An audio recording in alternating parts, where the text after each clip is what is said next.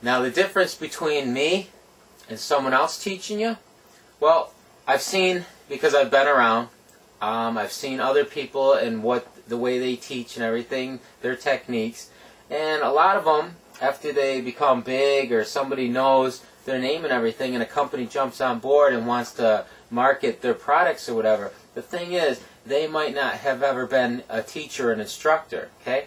While being a teacher and instructor, I was able to use my students and figure out, say, why this person may be picking it up, but these two people aren't. And I make it simpler and I break it down. For instance, um, when I was showing how to do shattered glass, okay? People would make squares, they would make some circular or whatever, and I tell them, you know what? Make a bunch of elongated like Doritos, okay? You got that triangular shape. It might be funny, but you know what? Every single time now, they make these long triangular shattered glass pieces. Things like that. I've learned to develop a way of teaching so that in the course that I was teaching at the schools, I had six days to be able to teach them all these different techniques, about like 20, 25 techniques in six days, and I was able to do it. This got where I was actually had to figure out quicker and easier ways to get through them. Also, the reason the techniques are easier, okay, is because I'm not your typical artist that you would find uh, at a gallery enjoying like art saying I love the way the color and uh, that's not me okay I'll be totally honest with people I start off my demonstrations by being totally honest and telling them I got in, into this about 18 years ago um, I was a gas station attendant okay I had the long hair down my back played in rock bands and everything and I was going nowhere really fast okay um, I didn't make a whole lot of money matter of fact I only made about 130 to 150 bucks a week and I seen somebody airbrushing and I seen the money that they were making. Okay, now the reason I'm telling you this is because I got into this for money. Okay, and the reason I'm telling you my story is because because I'm money motivated.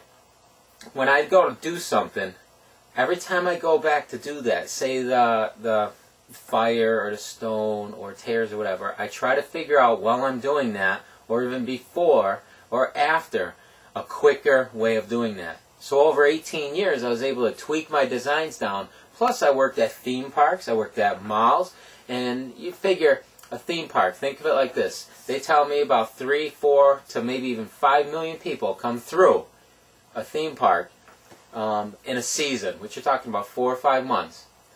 Okay, in that season, if four million people came through and just everybody just gave me a dollar, I'd be a multimillionaire, right? Well, that's not the way it works. But you got to figure the amount of people that we can generate to come to the airbrush shop there and buy something. Well, if it's 20,000 and we only sell uh, maybe to 10,000, it's X amount of money. Well, if we can get 20,000 and we can sell to 20,000 or 15,000, we'll make more money. So we're always designing quicker techniques, things that look like they're worth a lot more, but behind the scenes were easier to make.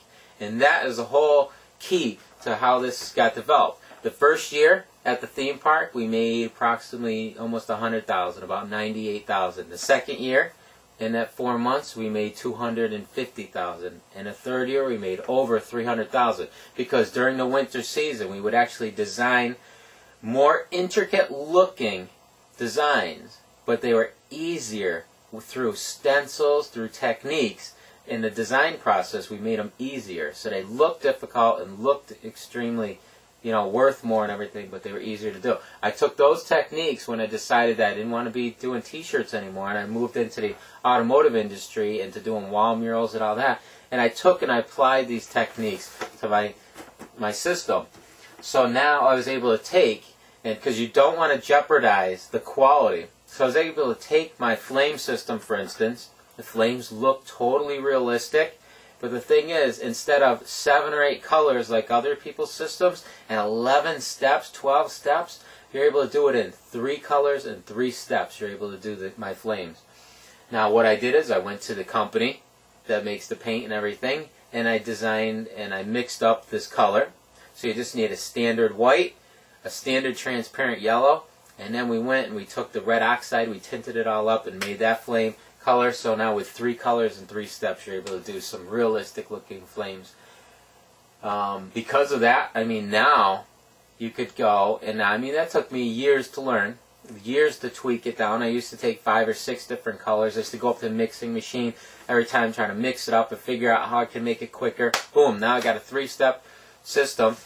I can go up to a vehicle, something like that Corvette you see right on the front of the series, um, and because it's only three steps and three colors, I can actually do that vehicle, which you're looking at about a $5,000 paint job. I can do it in about two and a half, three hours.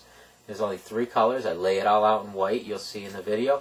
You go over it with the transparent red oxide. I designed this little flame technique with the stencil. You make that. You go over the thing with the can, the transparent yellow. It all mixes together and makes the realistic flames that you see.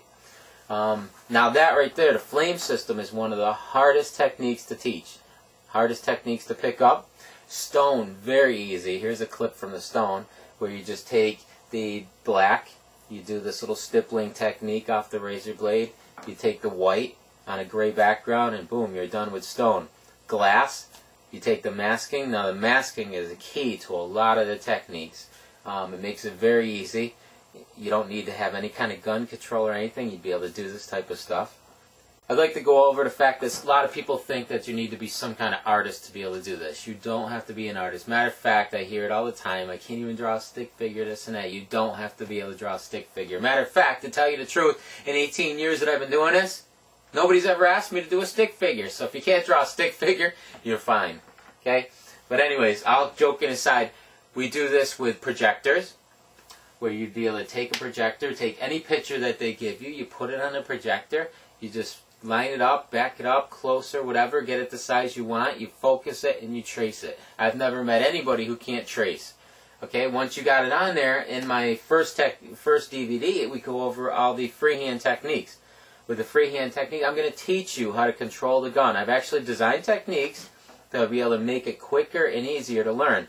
Okay, um, for instance, after you learn how to get a little bit of the control, the dagger stroke, the most important thing, we go over this pyramid thing.